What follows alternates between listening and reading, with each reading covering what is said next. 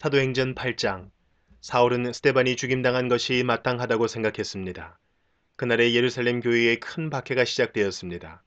사도들을 빼고는 모든 믿는 사람들이 유대와 사마리아 지방으로 흩어졌습니다. 경건한 사람들이 스테반을 묻어주고 그를 생각하며 통곡하였습니다.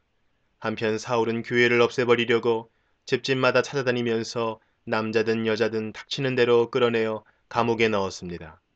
흩어진 사람들은 어디를 가든지 하나님의 말씀을 전했습니다. 빌립은 사마리아 성으로 가서 그곳 사람들에게 그리스도를 전파했습니다. 사마리아 사람들은 빌립이 하는 말을 듣고 그가 행하는 기적을 보자 한 마음으로 빌립의 말을 귀담아 들었습니다. 이는 그가 악한 귀신에 사로잡힌 사람들에게서 그 귀신들을 쫓아냈기 때문입니다. 귀신들은 큰 소리를 지르며 몸에서 빠져나갔습니다. 빌립은 중풍에 걸린 사람과 다리 저는 사람들도 많이 고쳐 주었습니다. 사마리아 성에는 큰 기쁨이 넘쳤습니다. 사마리아 성에 시몬이라는 사람이 있었습니다. 빌립이 사마리아에 오기 전만 해도 시몬은 성에서 마술을 하면서 사람들을 놀라게 하기도 하고 스스로 위대한 인물이라고 하면서 잘난 체하던 사람이었습니다. 낮은 사람에서부터 높은 사람에 이르기까지 모두 이 사람이야말로 큰 능력으로 알려진 하나님의 능력을 받은 사람이다 라고 소리를 지르곤 했습니다. 시몬은 백성의 관심을 한 몸에 받던 사람이었습니다. 시몬이 오랫동안 마술로 사람들을 놀라게 했기 때문에 사람들이 그를 따랐습니다.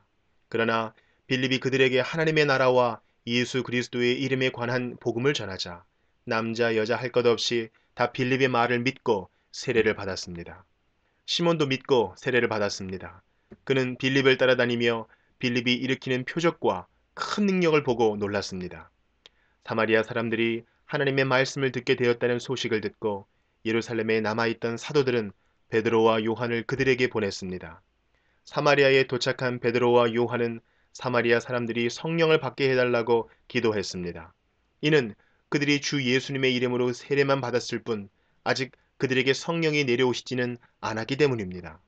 두 사도가 그들에게 손을 얹자 사마리아 사람들이 성령을 받았습니다.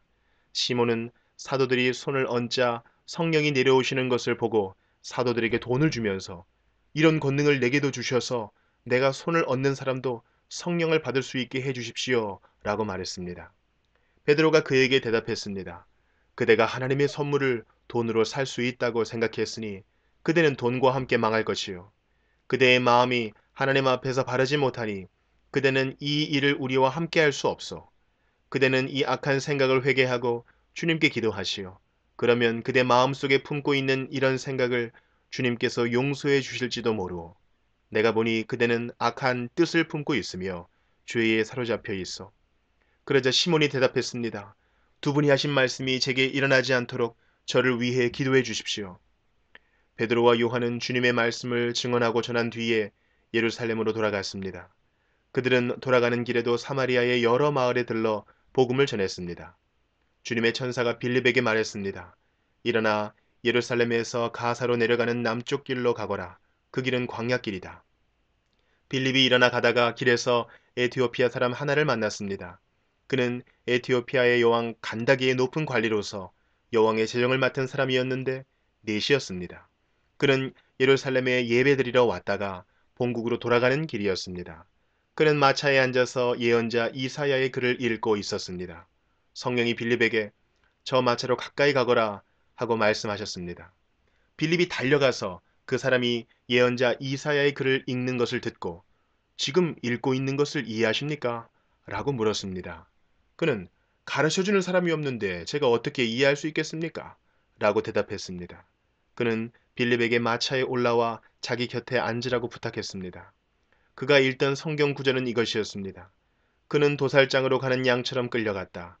털을 깎는 사람 앞에 있는 양처럼 잠잠했으며 입을 열지 않았다. 그는 모욕을 당하고 바른 재판을 받지 못했으니 누가 감히 그의 후손에 대해 말할 수 있단 말인가. 이 땅 위에서 그의 삶은 끝났다. 에티오피아 내시가 빌립에게 물었습니다.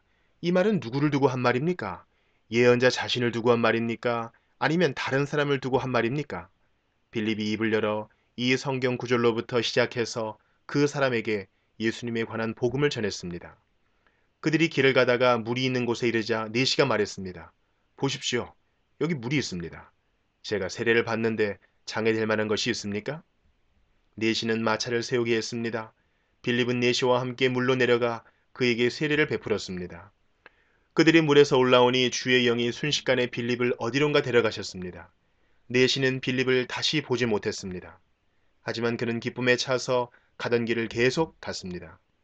빌립은 아소도라는 성에 나타나 거기에서부터 가이사랴에 이르기까지 온 마을을 다니면서 복음을 전했습니다.